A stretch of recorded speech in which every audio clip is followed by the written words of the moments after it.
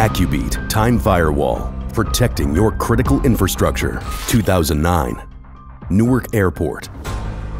A simple GPS jammer causes severe disruption to air traffic control. Investigators take over a month to identify the source. 2012. University researchers take control of a military drone and of an $80 million yacht by spoofing the GPS. 2013, GPS signals are jammed near the London Stock Exchange, causing havoc with timestamping, an essential requirement for financial institutions worldwide. 2017, the Black Sea. More than 20 merchant ships disappear from radar following a GNSS spoofing attack, appearing instead to be located in mainland Russia. GPS jamming and spoofing attacks represent a new form of cyber terrorism capable of causing widespread civilian and economic damage to millions of people.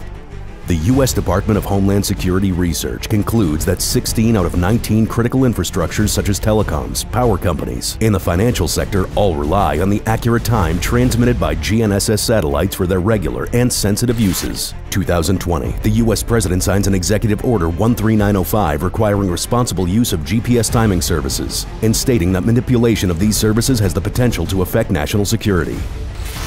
AccuBeat presents Time Firewall, protection from GPS jamming and spoofing.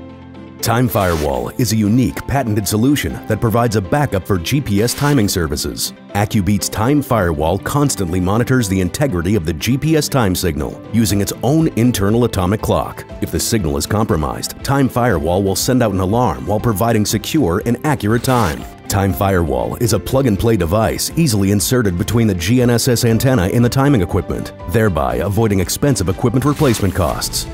Time Firewall is patented worldwide with full patents in all major markets.